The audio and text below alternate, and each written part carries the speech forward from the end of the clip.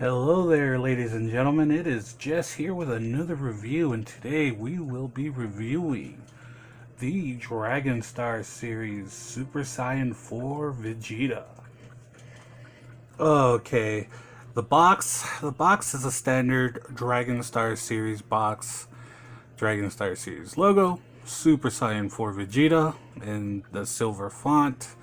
It's like every other Dragon Stars um, box that we've come to expect. It's nothing new. Same old, same old. And the only distinguishing feature on the boxes, of course, is the illustration of the character. And then, of course, you know, he comes with the standard um, uh, grab hands that all the Dragon Stars come with.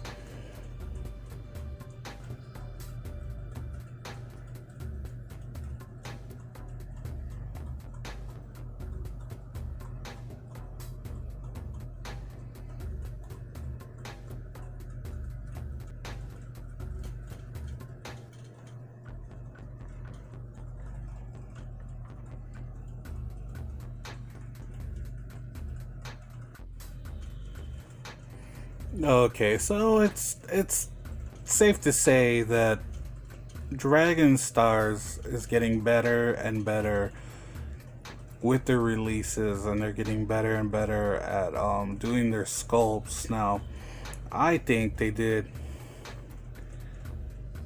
a great job with the face sculpt. Full name of camera was focused. There we go. I think they did a great job. I mean, it's not the best job but it's a lot better than like than the first couple waves that they did. I mean, look, the detail on the fur is awesome. The detail on the chest is awesome. The paint application is great. Um, the hair is awesome. The hair, as you can see, um, kind of articulates just a little bit, and it doesn't hinder his neck movement too much. Um, it, it's a great figure. Um, as usual, you, you have a decent amount of articulation.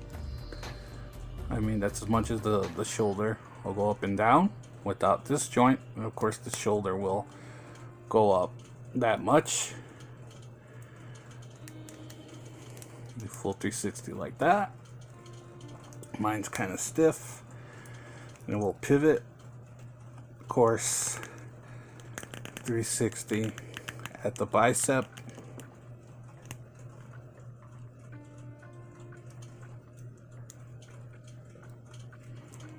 Bend at the elbow. Standard pivot at the wrist and 360. There's a bit, a good amount of crunch here, ab crunch moves just a little bit. We'll do. Oh, I'll do a 360, but I'll pop out. But he'll pop together, pop back together real easy. But it, will do a full 360. Um, the legs, he'll kick out that much, kick back that much.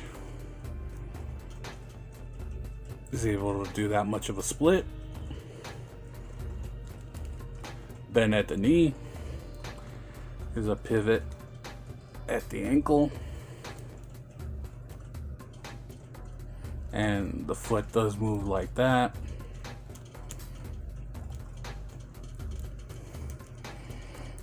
This is as far as he'll look to the side.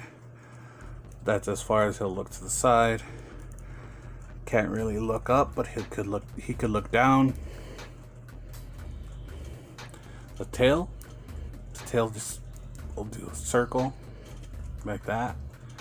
Um, the hair does articulate just a little bit. I don't know if you can see that. It does move just a little bit. It's pretty cool. Um, I think that for the most part, this is a decent um, representation of Super Saiyan 4 uh, Vegeta. It's it's not perfect. Um, I think that this figure in particular, um, he's a little bit too tall for Vegeta. I mean, I, I do recall him um, in GT and Super Saiyan 4. Even as Super Saiyan 4, he, he should be shorter um, than Goku. And I don't think he's shorter um, than Goku. In this line, he, he appears to be about Goku size. And he should not be Goku's size. Um,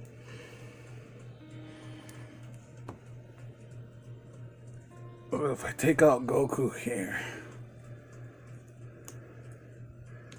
hell, dep- depending on the way you stand him, he's like Goku size or taller than Goku. At, you know, from the tip of his hair. Um, he should not be that tall. he should not be that tall at all.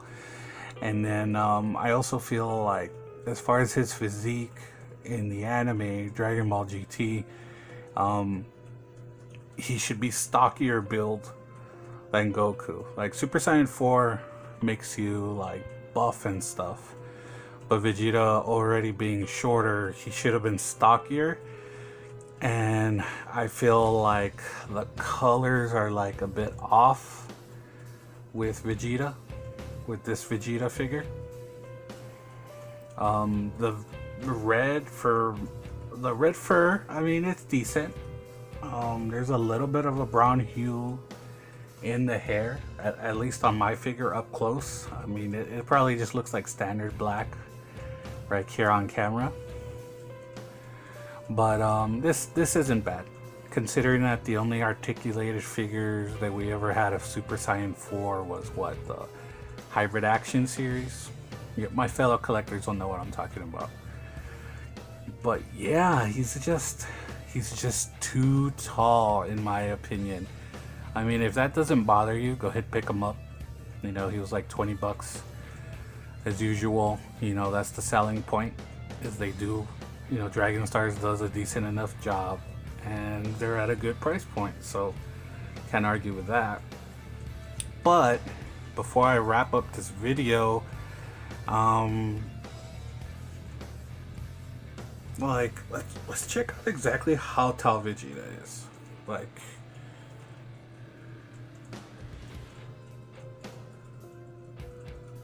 how tall is Vegeta?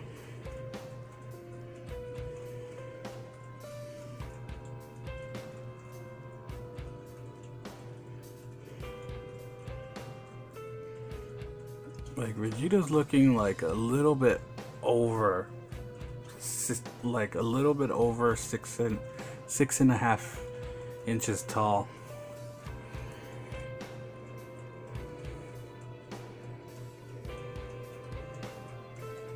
And it's the same with Goku. So they're like about the same size. I know probably like by angle here, he looks like a bigger figure, but they're about the same size. And that's just way too tall. But anyways, before we wrap up this video, just one more thing that I that pissed me off. My camera was having trouble focusing, so I'm just gonna put up um, two pictures of the hands on the open palm hands and the standard uh, closed fist hand. You'll see um, that they have fingernail beds. He has gloves. These guys really just repainted like Goku hands and then just threw them on Vegeta and they colored them that color. They have nail beds on a gloved character. You should not be able to see your nails in those gloves. That's a big peeve of mine. but yeah, um yeah, it's just ridiculous. But I guess you, you get what you pay for, I guess. But anyways, like I said, I like the the figure. It's a decent representation of Super Saiyan 4 Vegeta. Um, for now, you know, unless Demoniacal Fit do one or if SH Figuarts finally gets around to doing it.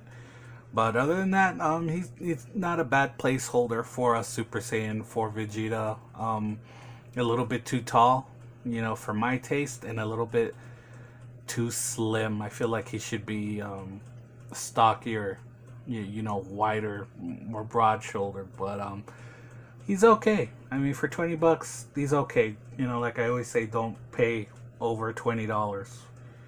You know. But anyways, guys, um, as usual, um, don't forget to smile. Do me a big favor. Hit that like button and subscribe. Hit that bell for notifications. And uh, I'll catch you guys later.